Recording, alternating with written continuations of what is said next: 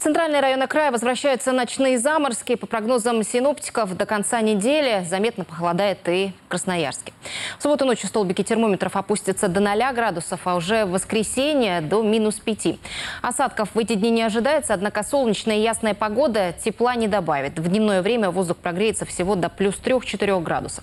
Дорожные полицейские призывают водителей быть осторожнее на трассе, особенно если едете на юг региона. В выходные там пройдет небольшой дождь и, возможно, гололедица. А вот жителям северных районов края выходные испортит порывистый ветер.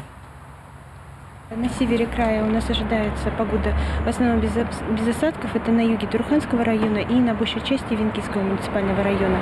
На остальной северной территории пройдет небольшой местами умеренный снег. И порывистый ветер до 15-20 метров мы прогнозируем на Таймыре и в воскресенье в Турханском районе.